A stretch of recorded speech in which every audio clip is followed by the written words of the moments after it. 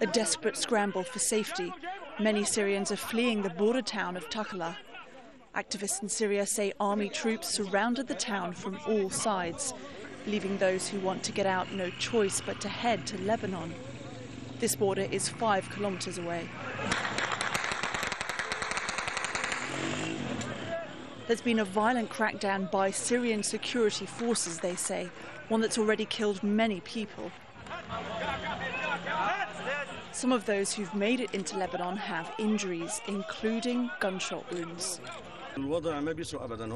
There is a lot of fighting on the Syrian side of the border. That is the situation. There are a lot of people fleeing to the Lebanese territories too.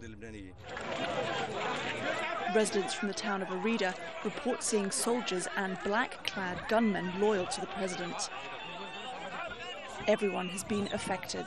Men, women, children, and the elderly.